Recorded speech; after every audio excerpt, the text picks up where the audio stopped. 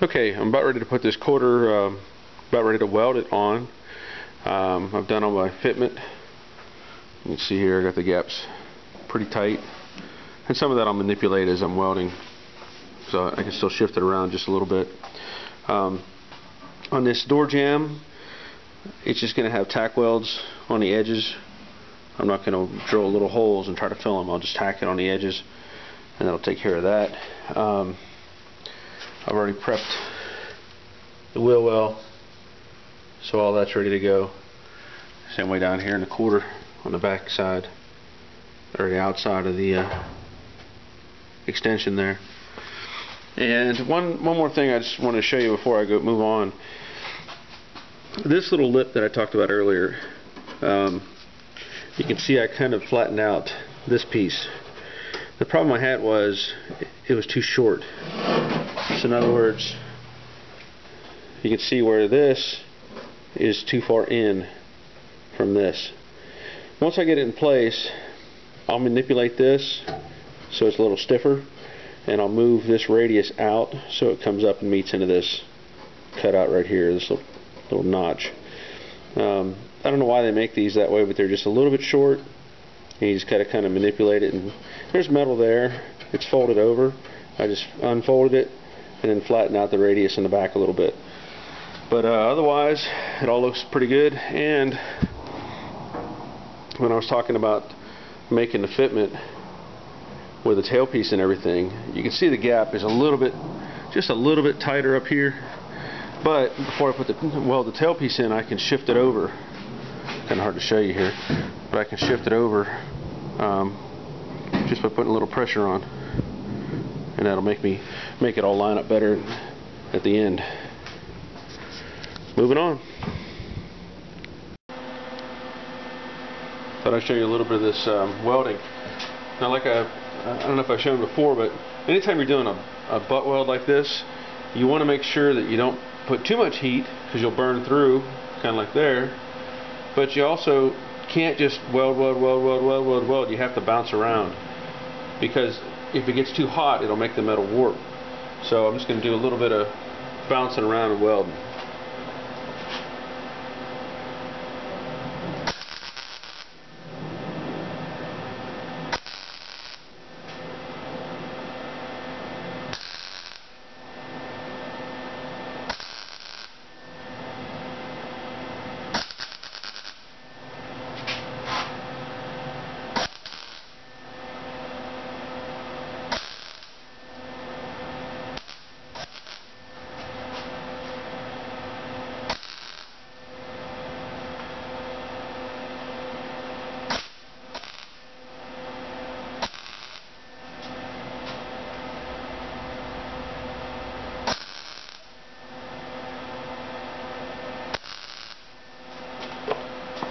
And as you can see you just keep moving around. Now normally what I do is when I get to this point I don't want to keep working on this because I know that I'll get excited and I want to just keep going and going and going and I'll put it in hot spots and make it warp so at this point I'll let this cool down and I'll bounce around to somewhere else.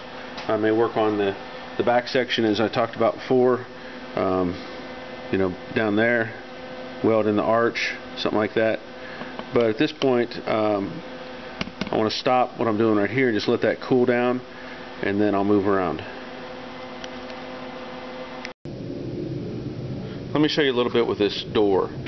Um, there's a lot of adjustments you can make on these doors. I don't know if many people know, but you got, you know, three bolts there, three bolts there, and you can articulate the door a lot, like this, this way, this way, back and forth. So there's a lot of movement with this, these two uh, mounts. The other part is when you have the door to the hinge, these bolts up here, there's two there and three there. That allows you to move the door in and out for the most part and in and out this way you can make it a pivot or in and out directly. Also you can do a little bit of up and down. That being said, when you put these doors on, and a lot of people struggle with doors, and have a hard time getting the adjustments right. But one of the big things is the reveal. and that's the bottom line where the door meets the rocker. The rocker isn't going to move, so you adjust the door to fit the rocker. You also adjust it to fit the body seam. So I, you can see I've got this one in place. And another thing on these Mustangs up front is where the rocker ends and the door, the line of the door follows the shape of the rocker. So that gets everything pretty close to where it's supposed to be. Now I'm doing this, I'm saying this because I'm putting on aftermarket quarter panels. So the door is adjusted where it should be. And also, I don't put the striker in because you should adjust the door to where it's relaxed and the striker should adjust to the door. So keep that in mind when you're doing these. Um, when I put this right quarter on, I did notice it had somewhat of a lip right here. And by that I mean it, it sticks out. You can see my finger goes in past that edge.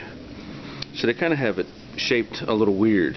The originals wouldn't have been shaped like that. But this is what you have to work with. So I put the quarter, of course it's in place, and I've mounted up the door, and have a bit of a problem with the gap. Down at the bottom, it's nice. Now this is a quarter that fits the car like it should.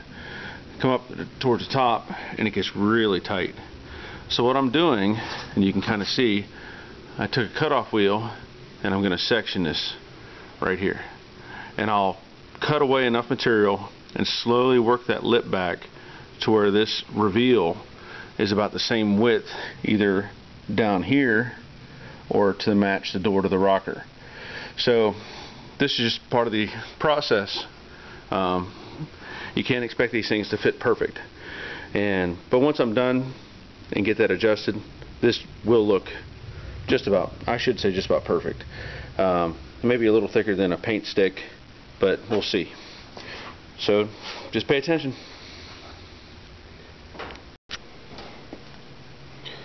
Okay, I showed you how close that door gap was. And what I'm going to do to widen it is I cut a, a little more metal out of that gap, uh, you know, obviously behind the door. And then what I'll do is I'll, I'll push it back and weld it into place. It'll take a little effort to get it back there, but that'll take care of that gap and uh, make the door fit a lot better.